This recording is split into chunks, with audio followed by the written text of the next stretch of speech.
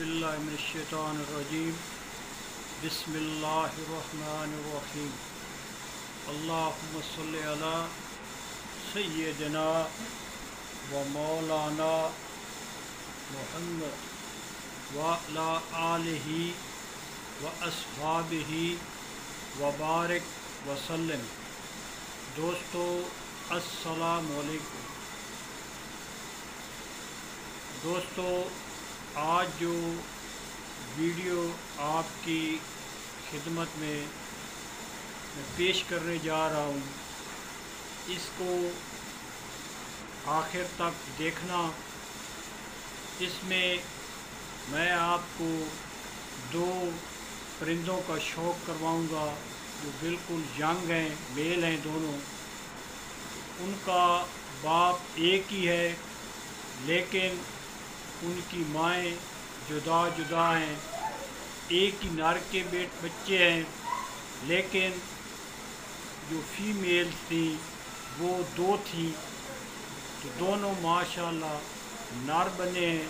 तो वो मैं आपको उनका शौक़ करवाऊँगा।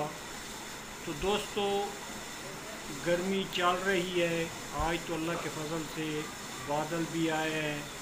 कुछ हल्की बूंदाबांदी भी हुई है। अल्लाह पाक रहमत की बारिश बरसाए। पूरे मुल्क को बारिश की ज़रूरत है। अल्लाह पाक हम सब पे रहम फरमाए और आसानी का मामला फरमाए। दोस्तों, शौक़ के हवाले से कि शौक़ के जो जरासीम होते हैं, जिस बंदे को शौक़ हो, जिस चीज़ का शौक़ हो तो वो जरासीम कभी भी ख़त्म नहीं होती। ये बिल्कुल मुशाहे की बात है।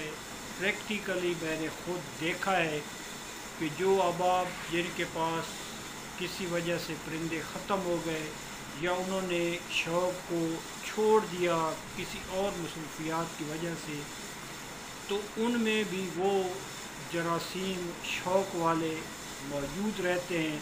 जब भी कभी वो कोई शौक़ की चीज़ या अच्छी चीज़ उनके सामने आती है तो उनका शौक़ और जज्बा वलवला फिर से जवान होता मैंने खुद देखा है।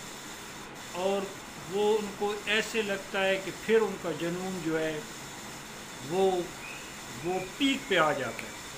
तो ये शौक़ काफ़ी आदमी बंदे ऐसे नज़रों से गुज़रे हैं, जो जिन्होंने शौक़ फरमाया, फिर उन हजरात ने कि परिंदे ज़ाया हो गए, या उन्होंने किसी को दे दिए, या फिर किसी और शौक़ में पढ़ के उनसे ज़ाया हो गए तो वो, उनको भी शौक़ लग जाता है।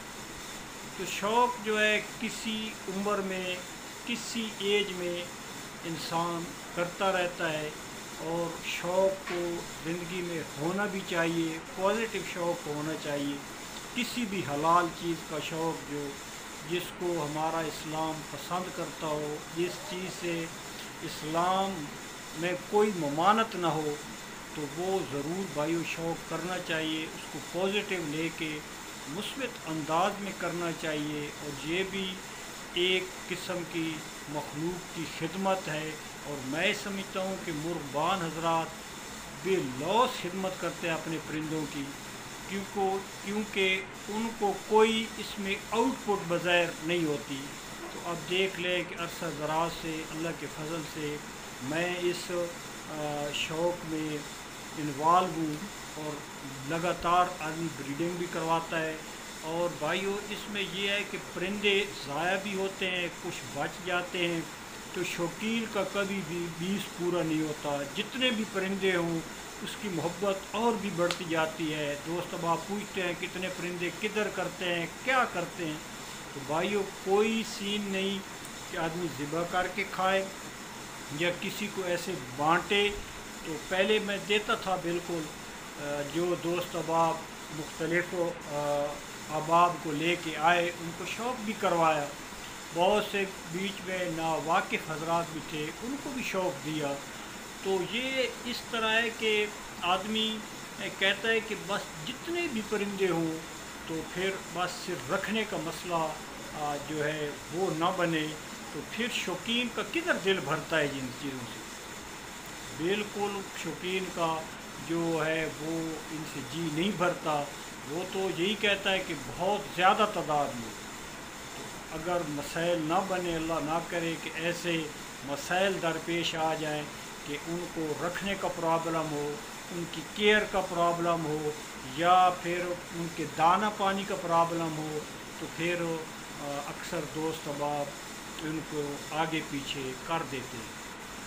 तो दोस्तों, इस वीडियो में मैं आपको एक बात बताना चाहता हूँ, और वो ये है कि सईदुल्ला ख़ान एक दफ़ा मुलाकात हुई, इधर बंदयाल में आए हुए थे और मिल गए, बस उधर मैं भी गया एक मुबारक पे, वो भी आए हुए थे। तो बस गुफ्त तो शनीद हुई, बड़ा मज़ा आया, अच्छे शौकीन है, माशाल्लाह, पुराने शौकीन हैं। तो वो परिंदों की बातें हुई तो वो मुझे बता रहे थे कि बहुत अरसा पहले की बात बता रहे थे कि बताते क्या हैं सईदुल्ला भाई, कि मैं अपने वालिद के साथ मलिक अब्बास बंदयाल के यहाँ एक दफ़ा आया था, उनका शौक़ देखने के लिए। तो मलिक अब्बास साहब ने हमें 180 परिंदा दिखाया। बार अब फ़िक्र, यही 180 या बयासी, यही एक 180 182 ये परिंदे सईदुल्ला के बकौल कि हमने एक ही जगह पे मलिक अब्बास साहब के पास देखे थे। और हर परिंदा पहले परिंदे से एक दूसरे से शानदार था। तो भाइयों, ये शौक़ की बातें हैं।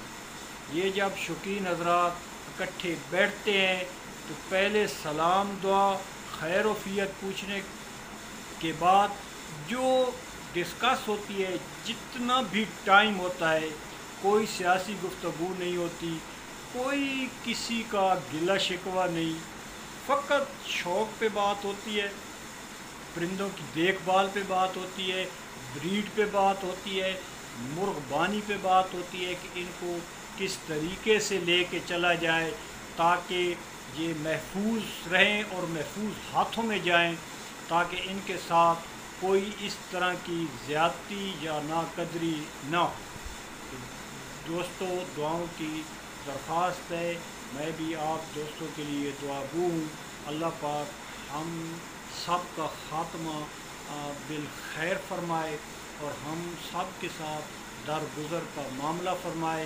तो वीडियो एंड तक देखना। मैं दोबारा आपसे यही गुजारिश कर रहा हूँ भाइयों कि वो दो नर आपने ज़रूर देखने हैं। तो बस दुआओं में याद रखिएगा। अस्सलाम वालेकुम